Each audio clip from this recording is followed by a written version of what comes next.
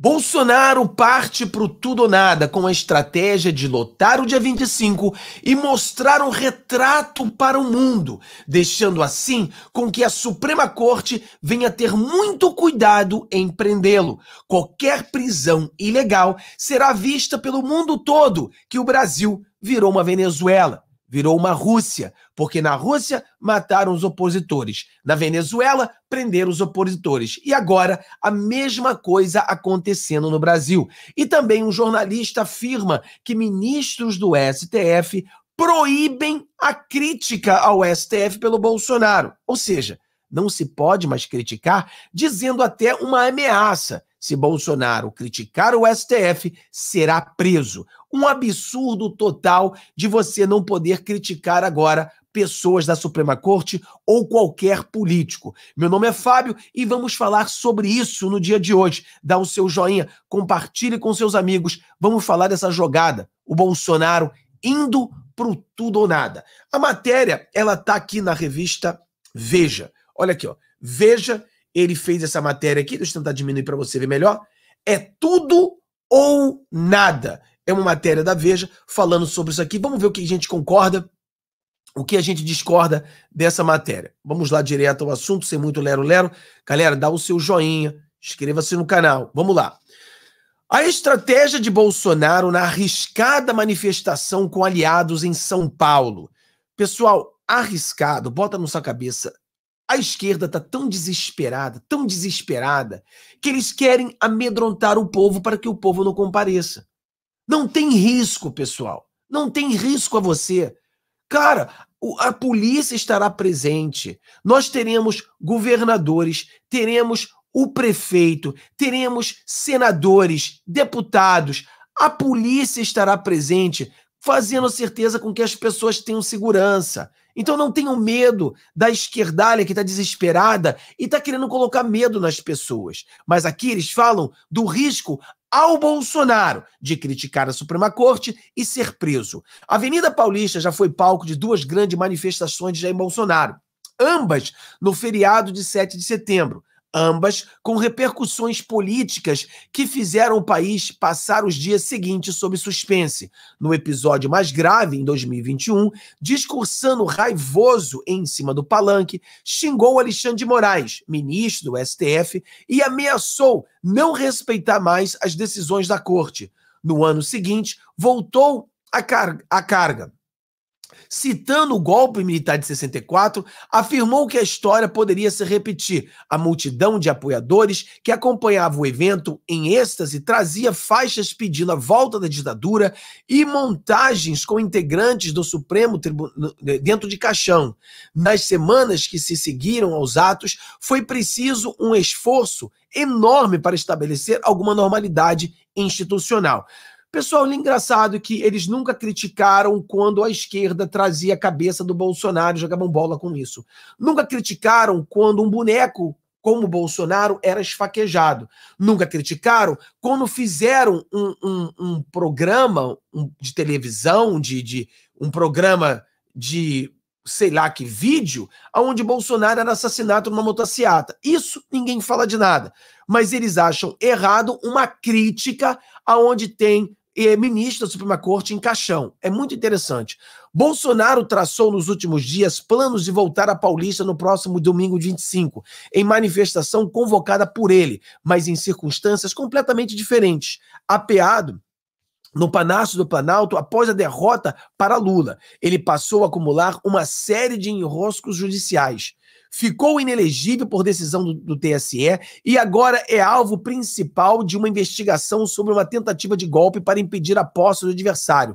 Na última quinta-feira, 22, o ex-presidente ficou calado no depoimento à polícia, a, a piada federal sobre o caso. Depois, lembrando a você que a Polícia Federal perguntou se o Bolsonaro era cis a Polícia Federal virou uma piada, né? Virou uma piada. Depois que a tentativa de oitiva, de adiar a oitiva, feita por seus advogados, foi negada por Alexandre de Moraes, o relator do processo. O ex-presidente acredita ser vítima de perseguição do ministro. Quem é que está aqui, você acha que o Bolsonaro é vítima de uma perseguição do ministro Alexandre de Moraes? Quem é que acha isso? Vai no comentário e acha. Eu acho que é perseguição. coloca ali, perseguição, que pediu apreensão do passaporte dele no curso da mesma investigação e atribuiu isso a uma vingança pelos insultos e ameaças que Moraes e sua família receberam das hostes bolsonaristas. Para tentar esfriar os ânimos, aliados do capitão vêm tentando uma aproximação com a corte e até saíram otimistas de algumas conversas, mas os sinais externos são de que o Supremo está fechado com Moraes. Em entrevista recente ao programa Ponto de Vista da Veja, questionando sobre a manifestação convocada pelo ex-presidente, o decano Dinar Mendes disse se tratar de uma tentativa dos políticos de buscar apoio popular, em meio a provas comprometedoras de ameaças de ruptura Estado de Direito e Estado Democrático.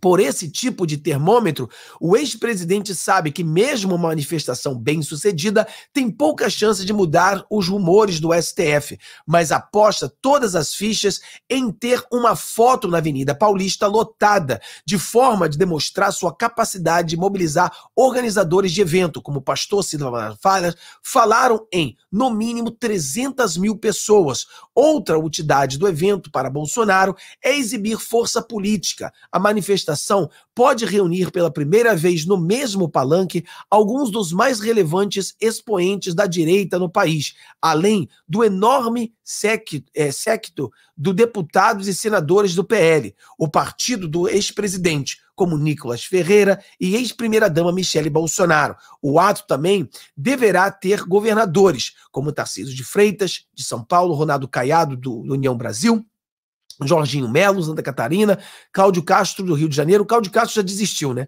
E outros. Então, pessoal, o que, que acontece? Então, a, o presidente Bolsonaro, ele vai ali para o tudo ou nada, ele sabe que ele precisa mostrar ao mundo essa foto, entendeu? Porque qual a outra opção do Bolsonaro? Nós sabemos que, por exemplo, tudo que é falado a gente tem que observar com muita cautela. Tudo que a mídia fala são apenas opinião da mídia. Ninguém tem a, a, acesso ao inquérito de verdade. Então ninguém sabe ao certo se existem provas. Pessoal, o Bolsonaro não é réu.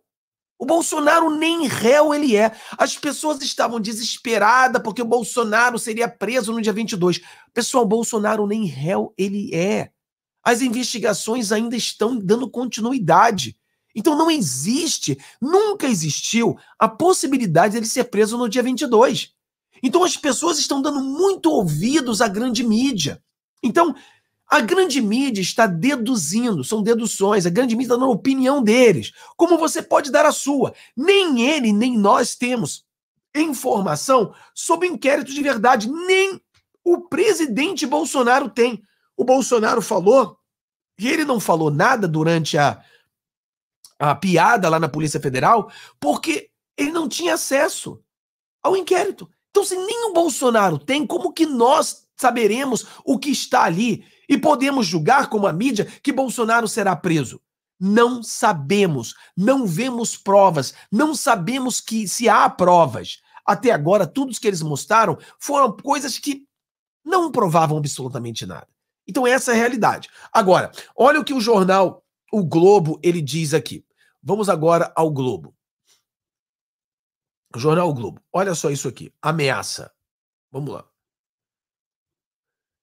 STF não vai admitir críticas à corte no ato de Bolsonaro. Olha isso. Jair Bolsonaro jura que o ato deste domingo em São Paulo será em defesa da democracia. Beleza. Mas no STF o espírito é de preocupação. Canal Lauro Jardim. Olha aí. Siga para bababá. Há um consenso entre os ministros de que o Bolsonaro criticar asperamente a corte ou alguns de seus ministros poderá ser preso imediatamente, diz o ministro da Suprema Corte com mais rigor ainda. Se ele falar um ai do Supremo, vai ser preso. Olha isso. Se ele falar um ai do Supremo, vai ser preso é um absurdo total de um que se diz jornalista ele dar a notícia de que se uma pessoa criticar a Suprema Corte, que ele falou crítica, não falou ameaçar, não falou atacar, falou criticar. Então, o jornalista Ele escreve uma matéria dizendo: se alguém criticar, essa pessoa será presa. Como que um jornalista pode fazer uma matéria dessa sem dizer que isso é um absurdo? Ele mesmo deveria dizer: olha, querer prender alguém por criticar é o maior absurdo que existe nesse país. Então ele já deveria dizer isso. Mas é o problema que nós vivemos hoje no Brasil. Hoje no Brasil, a direita está confusa e muitas vezes cai na armadilha da esquerda. Por exemplo, eu falava para vocês sobre a questão da escola de samba. As pessoas brigavam comigo porque diziam: a escola de samba não pode fazer aquilo ali, vestir eh, policiais como um demônio. E eu dizia: olha, isso aí é liberdade de expressão. Eu discordo. É completamente errado, mas é liberdade. Hoje mesmo, algumas pessoas estavam falando que um deputado, deputadozinho aí, da esquerda, chamou uns policiais de bostinhas e estão querendo caçar o cara. Pô, peraí. Estão querendo caçar um cara porque ele chamou um policial de bostinha? Não é isso liberdade de expressão? De você poder chamar um policial de bostinha? Eu, eu, não entendo essas coisas. Então a direita, às vezes, cai nessas narrativas e aí depois isso vai ser usado contra nós mesmos.